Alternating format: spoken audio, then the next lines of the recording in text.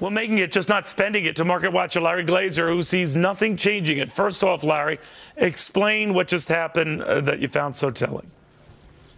Sure. When we look at today's data, we see that despite that increase in income, we're seeing spending flat. And that's part of a trend that we've been seeing over the past few months of very sluggish spending. And why? Because the consumer is saving more money. They're saving more, Neil, because they're not feeling the enthusiasm. Despite the stock market at all time highs, Main Street's not sharing in that today. And as a result, the consumer is doing what the consumer should do. They're reining in their spending. They're squirreling away their nuts for the rainy day, and they are cutting back.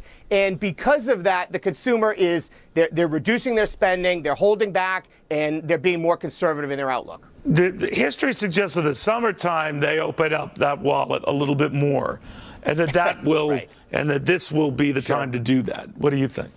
Sure you know, Neil, economists are quick to point out a whole host of issues to explain why this might be happening. They blame the West Coast port issues. They blame tough winter weather. I say a lot of that is nonsense. Really, the consumer is less confident about their outlook. Everywhere they go, every time they turn around, there's another handout, whether it's for more taxes, higher education costs, higher health care costs, and their pockets are empty. And as a result, they realize they need to take personal responsibility here. You know, Washington could learn a thing or two from the actions of the consumer consumer here, and that is doing the right thing by cutting back on their spending, repairing their own personal balance sheet, and reducing that spending. And what's interesting here is Washington gets nervous when the consumer starts to save more money because the consumer is two thirds of the U.S. economy. So if too many consumers decide they're going to save more money, which is exactly what they're doing, then actually it could become self fulfilling and slow the economy. The way to reverse that trend is to grow the overall economy so that the consumer feels more confident about their prospects for the future. And that's something that's been missing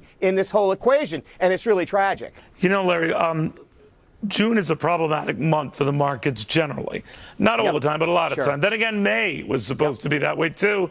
And we still ended right. up up on the month as a whole. So, what do you think about June? Right. What do you think about this summer, how it looks? You know, much has been said about sort of this June swoon or sort of the summer slowdown. And I think at the end of the day, the stock market's actually fairly logical, and the market will track earnings. And earnings have been pretty sluggish right now. If earnings can improve and companies can show a way to grow their business, the stock market will, will move higher. Right now, it's really a show me story. And so far, earnings have been challenging. Look, the consumer reads the paper. They know that in the first quarter, the economy didn't grow at all. It was completely flat. So I think it, it, the onus is on demonstrating that there is some growth growth and showing that companies can hire, showing that there's a middle class wage increase. All those things have been missing. Clearly, we have challenges. The market will be logical. It really will track earnings, but the earnings just aren't there right now. Interesting. Larry Glazer, thank you very much, my friend. Good seeing you.